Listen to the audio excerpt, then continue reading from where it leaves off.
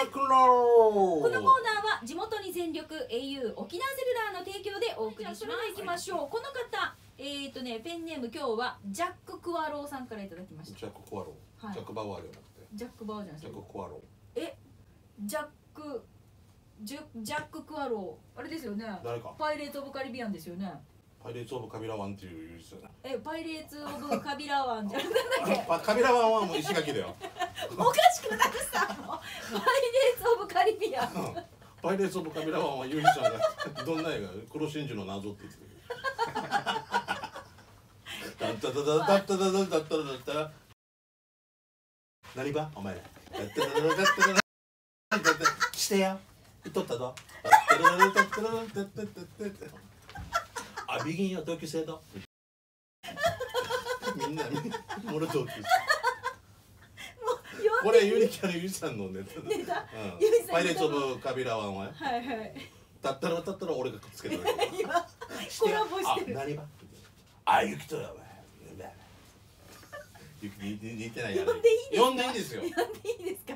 ジャッククワローさんです。ザ。ククワローさん。はい。はい、えー、ミカしんちゃんこんなアプリわかるかということでいただいてるんですけれどもこれですよ。パイレーツオブカリビアンジャックジャックで自分の顔重ねるやつわかります知らんわ。でも。これなんか恥ずかしながら帰ってきましたみたいな。ななんか横井正一さんって。なリフェイスっていうアプリみたいです。なんでカンナスこのパイレーツオブじゃないと。こ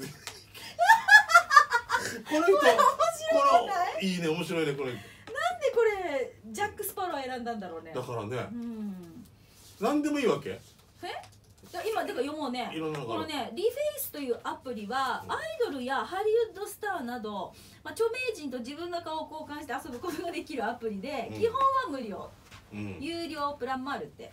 で画像だけではなく動画にも対応している。ただし日本語版がないのでアプリ内の説明は全て英語です。この辺はちょっとご注意いただきたい。ああそういうことか。はい。あ私のさあのーーなんか顔変えるのとかあったさ。あるあるあねうん。あのーまあそこまで友達でもないナチュラのリーダーエイリーっていうんですけど。あーあー仕事上のそのドラドライな付き合いの。えー喜んでるよこれ。デイジー喜んでる。もうその代わりクリスマス時期だったらチキン何本か押される。もう当たり前みたいにはい5本はい6本ね。デイジーの押し売りすごいよなあれなああ偉いと思うよ。でリーダーが、はあのーやたらとタイムラインにこうん。の自分の顔が変換されたやつい、をうん。上げてて私これ大好きでしょっちゅう見てるんですよ。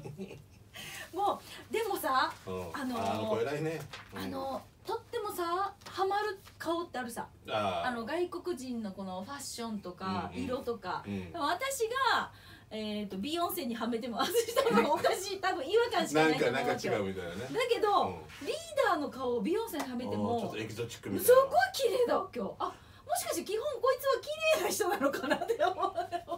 まあ待って待ってもしかしてとかさらっと失礼なことね。いやええ。上山綾乃ちゃんいるさ三種なあっさり。あの人もインドインインインインただこっちつけるだけよし違う 違う。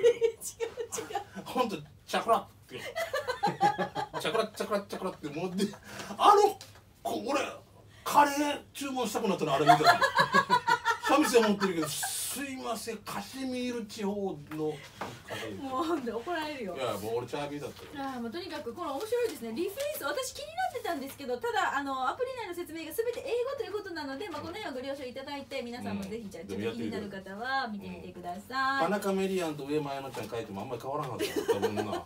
有名人と有名人な。すごい。でも2人ともだから共通してるのは美人さんってことでしょだから。エキゾチックだよな。本当に はい、えー、さあこのコーナー「記事編ロックンロール」は皆さんのこうちょっと面白いハマってるアプリの紹介だったりとか、えー、auPay とても便利だよねとか使ってみたの感想とかね、はい。こう広くお待ちしておりますのでぜひお寄せください。なおスタジオの様子も YouTube で見ることができますのでぜひ確認してみてくださいね。